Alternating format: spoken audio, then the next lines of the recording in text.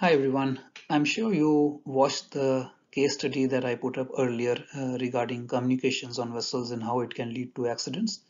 Now in my previous video I just uh, presented the case study and in today's video I'll uh, do the analysis and I'll provide you with my analysis and that will also help you to analyze a similar case studies if you read case studies for your examinations or uh, if uh, you can learn something from this case study and make sure that this doesn't happen on your ship in future. So let's get started here. Uh, the case study started in uh, Suez Canal when a vessel was transiting with pilot on board and uh, she was supposed to be navigating along the central line of the channel. However, as she drifted away from the central line, the pilots and the bridge team used the corrective helm and engines to counter it. By this time, the vessel had swung considerably and it neared another bank on the opposite side. Because of this close proximity to the other bank on the opposite side, the stern of the vessel brushed and contacted with rocky bottom. So here, before I go into the next slide, I want to provide you with some analysis. Uh, here, the first thing that you have to note is that uh, although there was a pilot on board, there was a bridge team on board, and they still allowed the vessel to drift away from the center line. One might argue that yes, vessels do not stick to the center line, they do drift away, and I agree with you. But before they start to drift away, and you can start of course using corrective helm and engines to counter it. You should be keeping it in the center line if that's the intention. But here the vessel swung considerably. So that means not only it drifted out of the center line it drifted away for a long enough time that the vessel swung considerably onto the other side when the corrective helm was up, when applied. Now when the corrective helm was applied the vessel didn't only come to the center line but it swung away to the opposite side. Now uh, this was i think a failure on the bridge team. uh, on the part of the bridge team. They should have been monitoring the helm, they should have been monitoring the ship's position, they should have been monitoring uh, as soon as the vessel was starting to drift from the center line, they should have applied the corrective helm. And if the vessel was starting to swing, they should have applied the helm in a such a way that the vessel doesn't develop momentum and go on to the other side. That is the role of a helmsman, the officer on watch, and the pilot as well, keeping the vessel on the intended track especially when it involves uh, such narrow channels which uh, like Suez Canal or it could be some narrow channels at sea. And when you have to restrict yourself to a certain narrow channel this is your job on the ship. So a learning lesson a lesson that you can learn from here is that uh, uh, of course vessels are not like cars. They cannot be on one track. They cannot be on the intended track exactly. But you have to make sure that you arrest the momentum of the ship when the vessel is drifting away either from the center line or when you're trying to bring it to the center line it should not drift away on the opposite side excessively. Because the more helm you use it's putting more load on the steering gear more fuel is being used.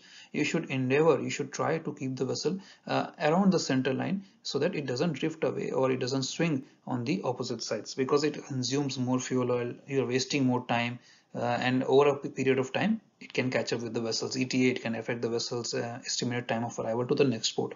All right now when it near to the opposite bank the stern of the vessel got so close that it brushed and contacted with the rocky bottom. Now here, of course, the officers should have been monitoring uh, how close it is and why can't they find out when it brushed with the rocky bottom?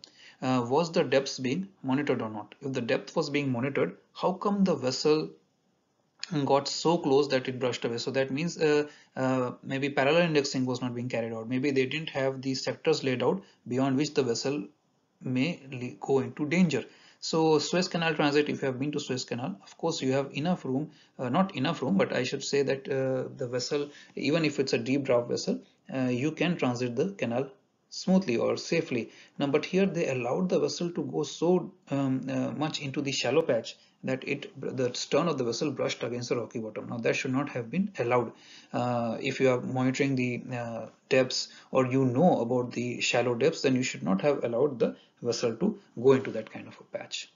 So there was a failure of communication here in the bridge team because the bridge team was not communicating with one another or maybe uh, roles and uh, were not uh, delineated, uh, roles were not uh, allotted to the person. Uh, there was a bridge team present, but people were probably not doing their job because if there's a pilot present, the officers are present, the helmsman, the lookout, everyone is present.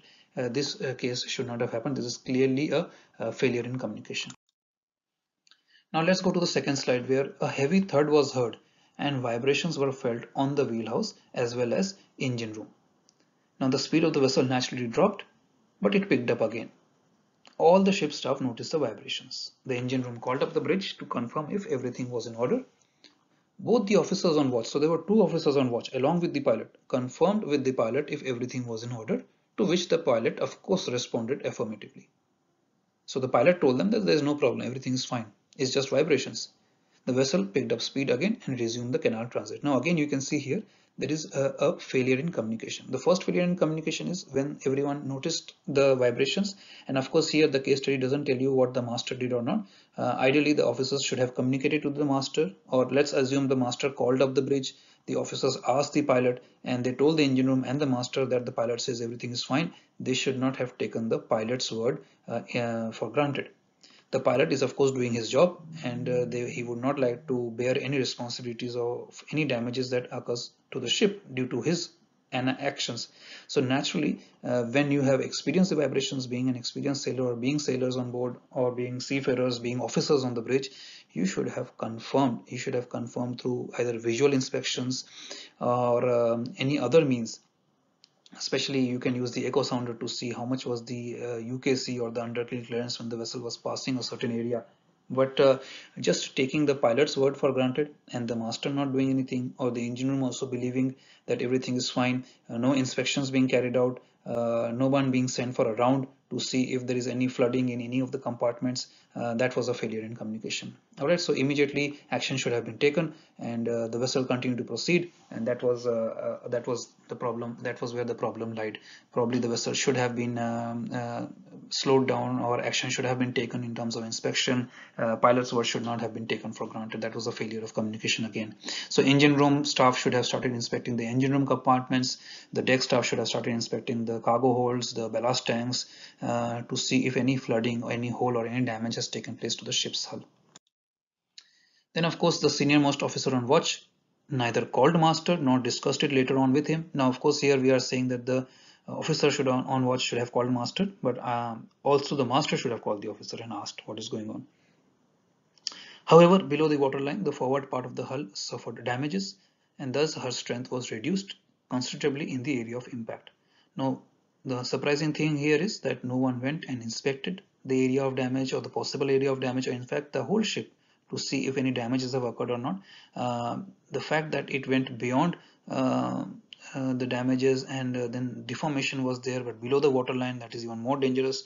Uh, the vessel crossed the canal in after the vibrations were experienced and uh, there was some suspicion. The vessel proceeded, kept going without any inspections being carried out and while she was loading in load port, a large thud was heard Again, an officer on watch noticed that water is rushing into the ballast tanks number 1, 2 and 3 on port side which is a very dangerous situation especially when you have water rushing in on one side there is a large probability of the vessel uh, developing an angle of loll or even capsizing or developing a large list which will be difficult to control with cargo or ballast. So again, there was a failure of communication here. Like I said, the senior most officer failed to call the master or discuss it later or even carry out inspections before the loading start. They should have carried out inspections, especially when they were in port. They could have carried out inspections. Even on the sea side, they could have lowered the lifeboat and carried out inspection. Without carrying on inspections, uh, they should not have allowed the cargo operations to begin. So again, there was a failure in the communication. So naturally the last slide said that the vessel, um, because uh, the loading was being carried out, the vessel was continuing being subjected to stresses and the damaged and the deformed part of the hull, the fatigued part of the hull, which must have rubbed against the rocky bottom, uh, became weak, crumbled and gave away. Now this is very important lessons here to learn for all of us here as seafarers and mariners that uh, you cannot uh, um, just take people's word for granted or unless you have visually inspected, visually checked, you must cross check it you must follow the proper procedures even if you suspect something.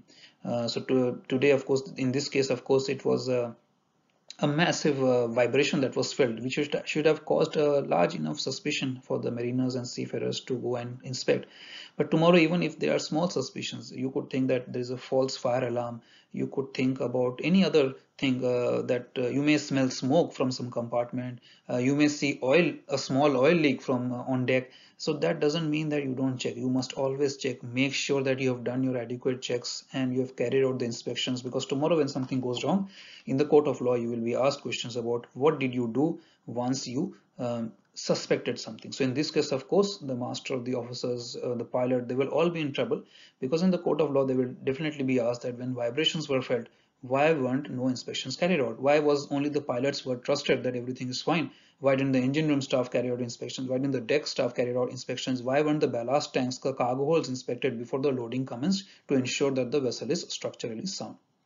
So this is how you have to uh, analyze case studies or this is how you have to look at the case study or this is what you can learn from this case study uh, because uh, the main purpose of the case study is for you guys to learn uh, lessons and making sure that uh, similar occurrences do not occur on your ship tomorrow when you are the officer on bridge. So I will keep it short here. I will stop the video now. Let me know in your comments uh, what you think or how did you go about analyzing what else you think went wrong here and what else should have been done on this ship to prevent this accident from occurring.